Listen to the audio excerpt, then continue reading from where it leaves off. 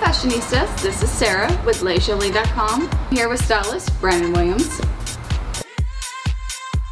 So as a stylist, I specialize in menswear and I've also had the privilege to work with uh, some lady celebrities and, and pro athletes uh, and male celebrities in the music and acting uh, field such as uh, Nicki Minaj, uh, which is a world-renowned, you know, singer, rapper, actor, judge on American Idol as of late.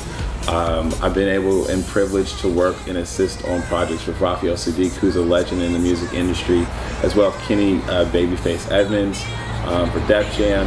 I've also been uh, able to work with a number of professional athletes, such as Matt Barnes from the LA Clippers, Baron Davis, who is an NBA All-Star, um, and now host of How I Rock It on Esquire TV, which is a show that I was uh, privileged to style uh, recently. And I've been able to work with Harrison Barnes of the Golden State Warriors, um, Lance Moore of the New Orleans Saints, Michael Conley of the Memphis Grizzlies, um, and yeah, the, the list is ever growing.